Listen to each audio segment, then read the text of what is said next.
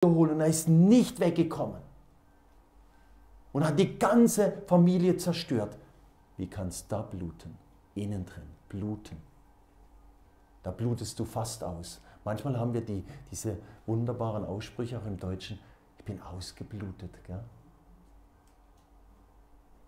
Oder wenn eine Ehe auseinandergegangen ist und alles ist dahin, der ganze Lebensentwurf, aber da blutet es, da kann es kräftig bluten.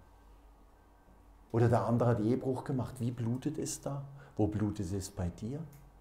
Ich weiß noch, äh, wo es bei mir mal geblutet hat, so äh, als Priester, es muss schon gewaltig gewesen sein. Das weißt du selber nicht, was da los ist. Und auf einmal öffnet Gott dieses, manchmal habt ihr es gestern Abend gehört, manchmal kann es rauskommen, da schreit der Mensch. Das kommt raus, da blutet es. Da hat es geblutet, es kommt raus. Man muss schreien. Bei mir war es so, ich habe geweint eine Stunde. Als Konzelebrant. Irgendwann hat er die Schleusen geöffnet und da ist es alles rausgekommen. Hast abgelagert, runtergeschluckt, nicht mehr abgegeben deinem Jesus. Und dann sagt er natürlich, und jetzt bist du dran. Jetzt bist du dran. Ich kann das nicht mehr anschauen, was du ständig runterschluckst. Und unten drunter blutest du aus und kommst nicht weiter.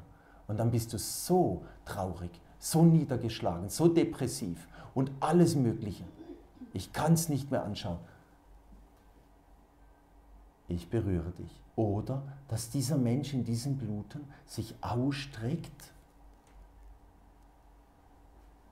um den Herrn zu berühren. Ich habe so viel getan.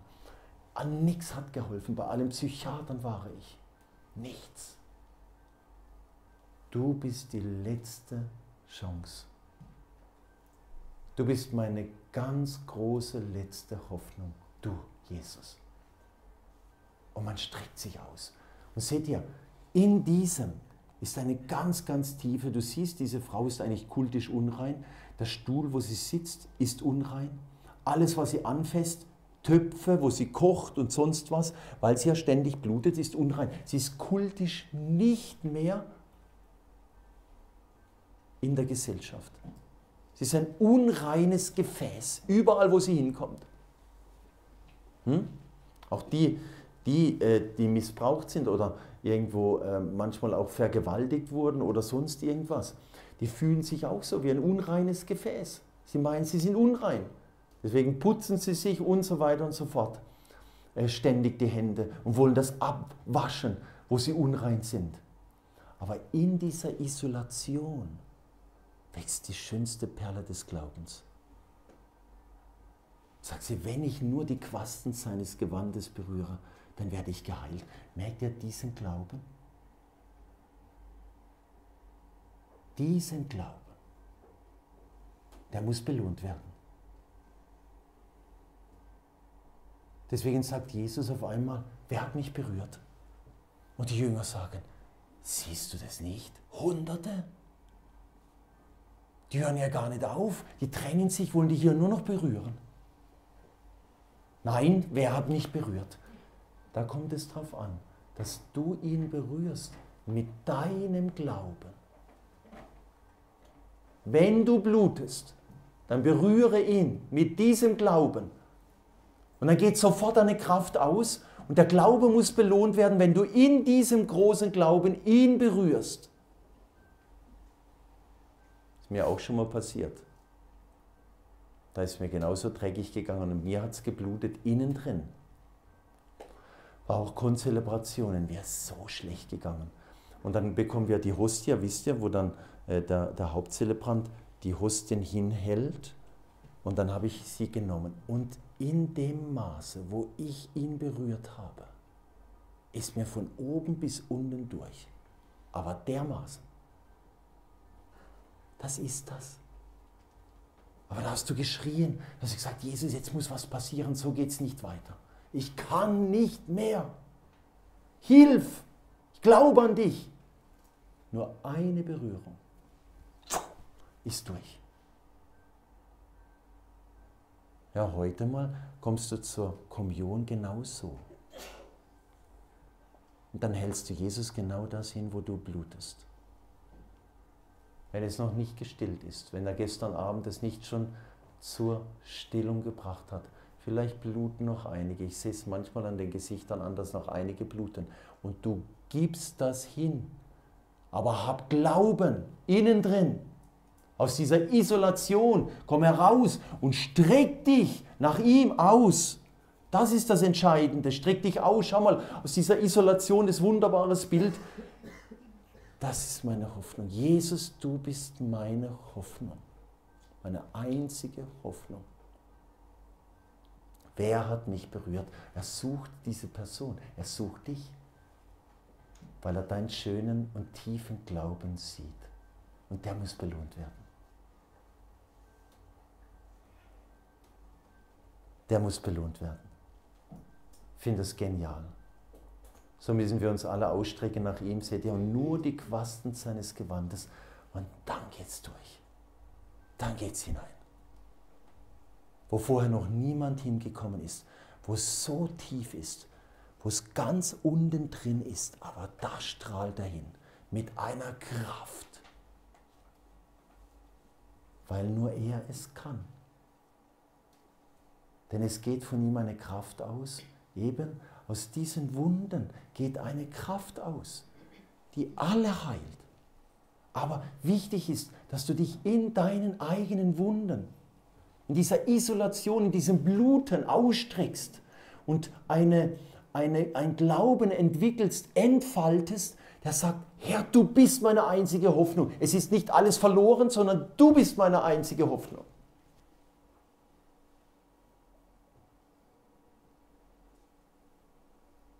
Streck dich heute so aus. Und meine, meine Lieben, ihr berührt nicht nur das Gewand. Wisst ihr, was mir gegangen ist? Ich habe ihn kaum berührt. Und dann sind die Tränen gegangen. Ich musste aufpassen, dass mein Jesus nicht nass wird, versteht ihr? Der Boden war schon dann ganz nass. Ich habe meinen Jesus in der Hand gehabt. Da hat er es gemacht. Aber wenn du ihn so einmal erfährst, dann bist du nicht mehr der Alte. Und es geht dir nachher besser. Wenn du diese Kraft gespürt hast, die kannst du nicht machen. Die geht von ihm aus. Und das macht kein Esoteriker, kein Geistheiler, kein Abbeter, wo die Leute hinrennen reiheweise zu diesen Leuten. Ja, das sind noch die Dämonen, die können was wegnehmen. Dann hast du eine Scheinheilung. Meine Lieben, sie können nicht heilen. Geht ja nicht zu diesen Leuten. Seid dann nur belastet. Nur einer kann heilen. Das ist Jesus. Und kein anderer. Niemand. Nur er allein. Und streck dich da aus. Seht ihr? Dann geschieht dieses Wunder und Frau, dein Glaube hat dir geholfen. Geh in Frieden. Dein Glaube hat dir geholfen. Und dieser Glaube belohnt er von dir. Bleib nicht in deinem Schneckenhaus, sondern streck dich aus. Streck dich aus dem Schneckenhaus heraus. Ihm entgegen. Nicht so, ich bleib da drinnen, ist alles so trist, alles so, ja, kannst vergessen. Er hat mich vergessen mein Jesus. Und dann meinst du, bist noch böse und bist noch schlecht. Und ähm, ja, den anderen hilft er, aber mir, mir nicht. Da geht nichts. Da musst du dich ausstrecken. Das sind jene, die ständig so ein Gesicht haben. Da kannst du mit Engelszungen predigen. Da kannst du äh, mit Freude da sein. Immer monoton ein Gesicht keine Gefühlsregungen mehr. So blockiert und sagt, ja, in dem Dunkeln, da, da finde ich mich noch zurecht da innen drin. Ich bin es ja gewohnt, schon mindestens 10 oder 20 oder 30 Jahre. Ja, könntest du mal da rauskommen? Nee, nee, nee, nee, nee, nee. Äh, da, da kenne ich mich aus. Und wenn ich rausgehe, ist mir es zu hell. Dann sitzt man lieber im Dunkeln. Das ist übrigens das Höhlengleichnis von Platon. Aber wenn du dann mal im Lichte bist, in dieses Licht hineingehen, dieses Glaubens, ja, ich strecke mich aus, komme aus dem Schneckenhaus da heraus, dann siehst du, Mensch, was habe ich für ein Dasein gefristet? In diesem Loch, in dieser Höhle, wo Dunkelheit ist. Und dabei steht der Herr draußen, der das Licht ist und will mir alles schenken. Und ich frisst in meinem Dasein dahin, in meinem Schneckenhaus und bin nur noch äh, äh, letztlich und brat in meinem eigenen Selbstmitleid. Kommt heraus. Streckt euch aus aus dieser Isolation und jeder kann da drin sein und jeder kann bluten bis zum geht nicht mehr und fast ausbluten. Komm heraus und mit Glauben. Kommt drauf an, verstehst du? Auf das kommt es an. Und dann wirst du Wunder sehen. Und da geht das nächste Wunder gleich hinten nach. Und dann kommt der, die, die Diener oder der, der äh, äh, Synagogenvorsteher Jairus, ja, die Tochter ist schon gestorben.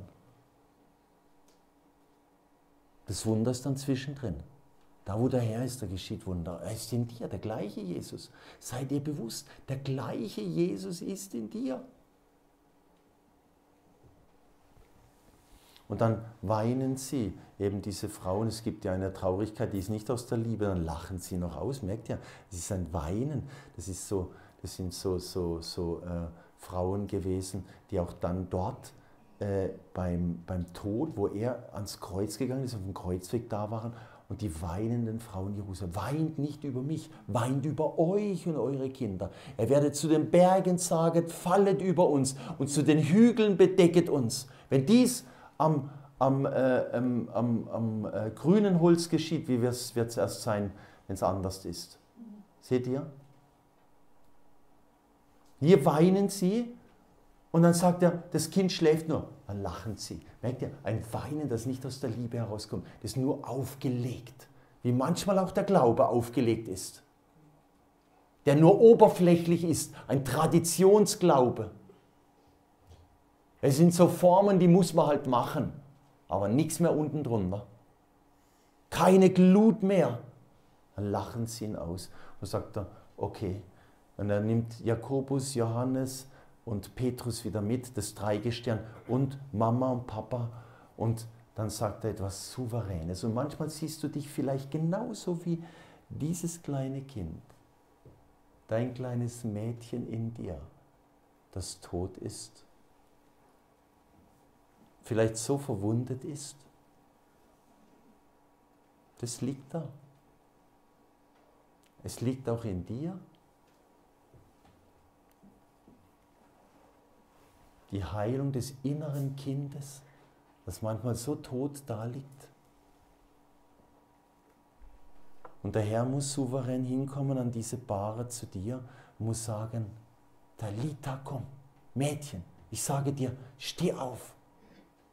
Steh jetzt endlich auf. Bleib nicht liegen. Wieder, dass er genau das bringt, dass er diese Heilung in dich hineinbringt, in diesem kleinen Kind, das auf der Bahre liegt, in dir, wo verwundet ist. Und er vielleicht gestern noch ein bisschen gesehen, wenn das dann rauskommt und die Tränen fließen und der Herr rührt an dieser Bahre an dieses kleinen Kindes, das so verwundet ist, vielleicht viel mitgemacht hat.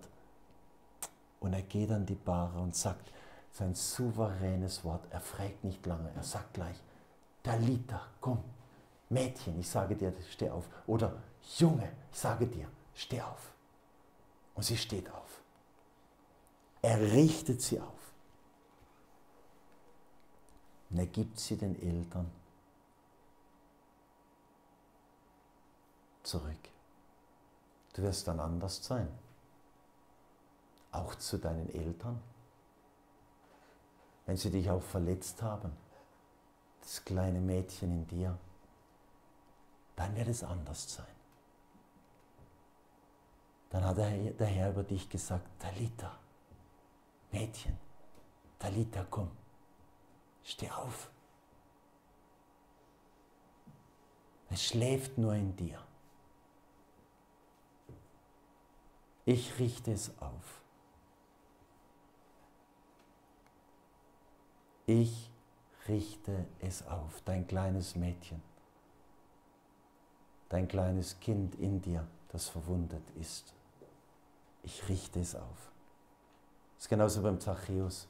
Totale Isolation, ganz weit weg. Ne? Ich glaube, jetzt wir machen mal eine kleine Pause und beten. Allmächtiger Gott, wir loben dich, wir preisen dich, äh, wir beten dich an und sagen dir Dank, dass du uns so gut einführst und dass du unsere Herzen berührst, dass wir dich anschauen dürfen, was du alles getan hast und die tiefen Dimensionen erfahren dürfen des Evangeliums. Das nicht nur an der Oberfläche ist, sondern es geht mich was an. Segne uns. Im Namen des Vaters und des Sohnes und des Heiligen Geistes. Amen. Amen.